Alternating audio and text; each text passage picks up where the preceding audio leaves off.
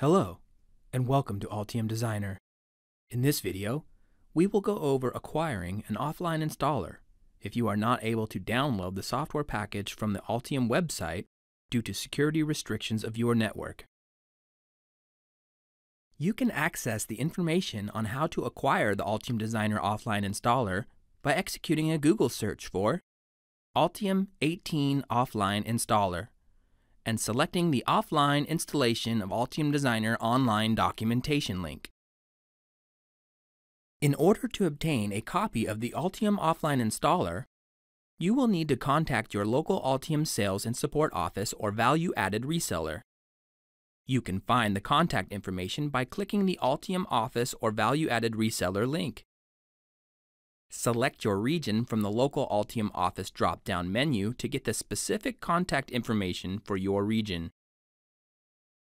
You will also find at the bottom of the Altium.com Contact Us page the contact information for sales and support, and contacting either of them will initiate the process.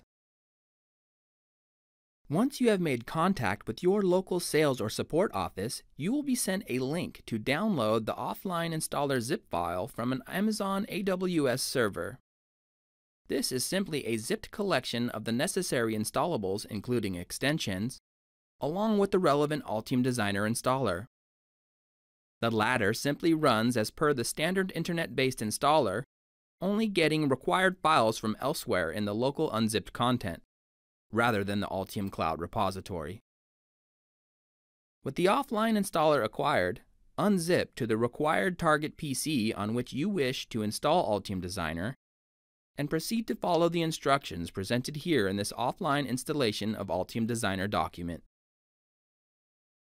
In summary, we went over how to find the Altium offline installer documentation and how to contact your local Altium office or value authorized reseller to initiate the process of acquiring the Amazon AWS server link to download the Altium offline installer zip file. Thank you for choosing Altium Designer.